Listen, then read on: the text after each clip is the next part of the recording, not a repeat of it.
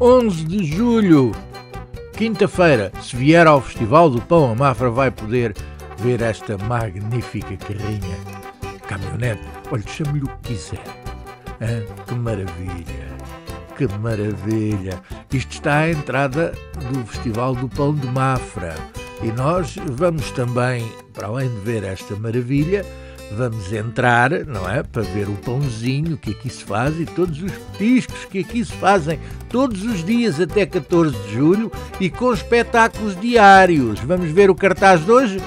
Ah, aumenta lá isso para a gente ver melhor. Vá, para cá está ele.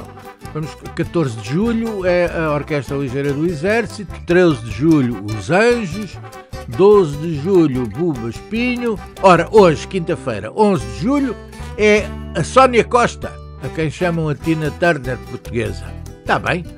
Venham todos ao Festival do Pão. Este espetáculo que acabámos de falar é às 22 horas.